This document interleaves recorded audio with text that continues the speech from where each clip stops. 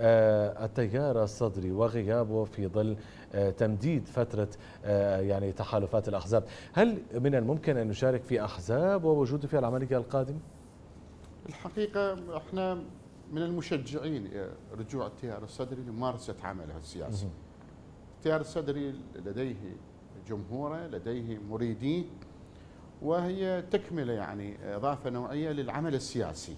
كلما كان تعددت المشارب والأطاريح والأطروحات أو الأطاريح والبرامج معناها صار أكثر من خيار أمام المواطن أكثر من خيار لتقديم الخدمة أكثر من خيار لرؤية حكومات محلية فاعلة منتجة.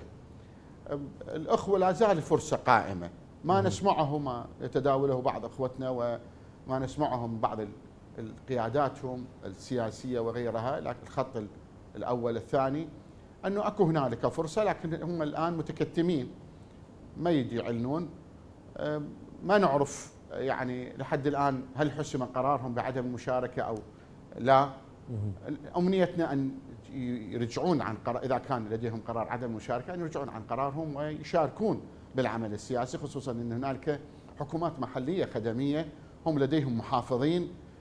في بعض المحافظات أو نواب في بعض المحافظات الأخرى لديهم وجود بالمحافظات لتعزيز لتعزيز هذا الوجود مالتهم لكي يطرحوا نظريتهم في خدمة الناس أعتقد التصدي للعمل هو آه، امتيازاته أكبر من الابتعاد عن العمل السياسي بهذا الشكل خصوصا إنه لديهم رجال آه، رجال دولة في آه، في يعني أقصد بهم محافظين في أكثر من محافظة. نعم.